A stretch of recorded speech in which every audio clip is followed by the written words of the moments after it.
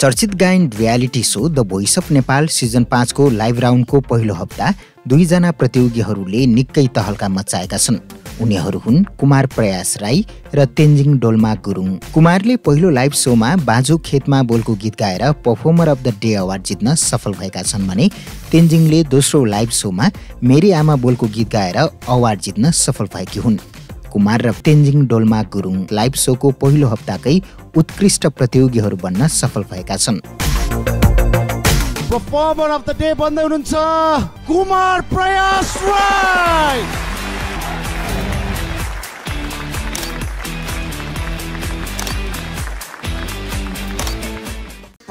Of the day आज बन्नुभएको छ। टिम प्रमोदबाट तेन्जिङ जोलमा गुरुङ। कङ्ग्रेचुलेसन्स तेन्जिङ। अब ढुकढुकी झन् बढ्न थालेको छ। लाइभ सोमा कुमार र तेन्जिङका लागि हुटिङको वर्षा हुने गरेको छ भने कोचहरूले पनि उनीहरूको प्रस्तुतिलाई मन पराएका छन्। कोच उदयको टिमबाट कुमार विजेता दावेदार मध्येका एक हुन्। त्यस्तै कोच प्रमोदको टिममा रहेकी तेन्जिङले सोको टाइटल जित्न सक्ने सम्भावना पनि उत्तिकै बलियो छ। यी दुवै प्रतियोगीका प्रस्तुतिहरू निकै दमदार भइरहेका छन्। तिमी हामी यसरी भेट भएको दिन। मन मेरो लौनानी बेमानी किन?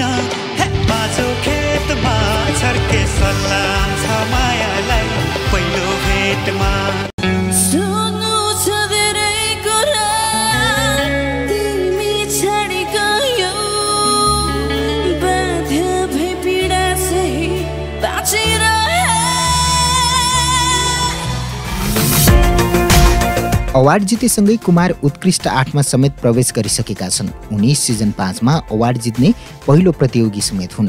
उनी कोच उदयको टिममा छन्। तिस वर्षीय कुमार सोलुखुम्बुको थुलुङ दुधकोशी गाउँपालिका निवासी हुन्। उनको पुरा नाम कुमार प्रयास राई हो।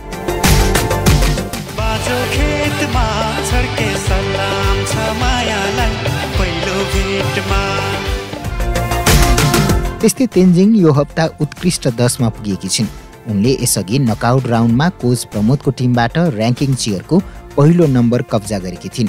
ब्याटलमा उनले कोच प्रमोदको टिमबाट फोर चेयर टन मेघना गेवालीलाई समेत पराजित गरेकी थिइन्। उनी कोच प्रमोदको टिममा छिन्। तेइस वर्षीय तेन्जिङ धोबी चौर काठमाडौँकी हुन्।